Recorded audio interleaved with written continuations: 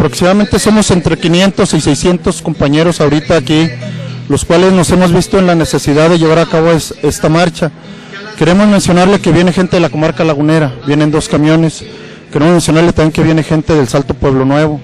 Y de aquí de, la capital estamos aproximadamente alrededor de, de 20 escuelas, los cuales vamos a hacer una petición a las diversas instancias oficiales para que pudieran darnos respuesta en pro de los, en de los alumnos. De la laguna vienen alrededor de 100 compañeros y de Salto vienen alrededor de 70. Sí, el compañero que se autonombró, nosotros lo estamos desconociendo porque nunca se llevó a cabo un congreso como lo, manifiestan nuestros estatutos. Nuestros estatutos se menciona que debe de ser cada tres años. Ya se terminaron los tres años en los cuales el profesor Rosendo Silva terminó su periodo y, de manera anómala le deja la silla a su compadre y amigo Luis Arnulfo. Hay un proceso el cual los compañeros del Nacional vendrán en próximas fechas para llevar a cabo un congreso y de ahí que pueda salir nuestro dirigente.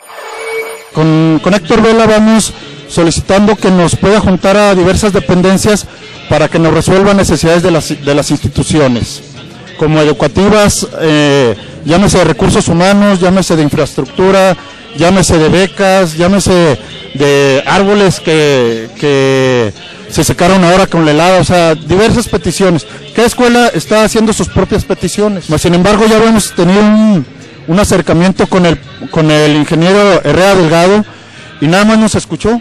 A la, a la vieja usanza del prino, te escucho pero no te resuelvo. En ese sentido nosotros nos vimos ahora obligados a suspender para que no nos dé respuesta a nosotros los maestros y a los padres de familia que hoy nos acompañan. En alrededor de 25 escuelas de La Laguna, de aquí y, de, y del Salto Pueblo Nuevo.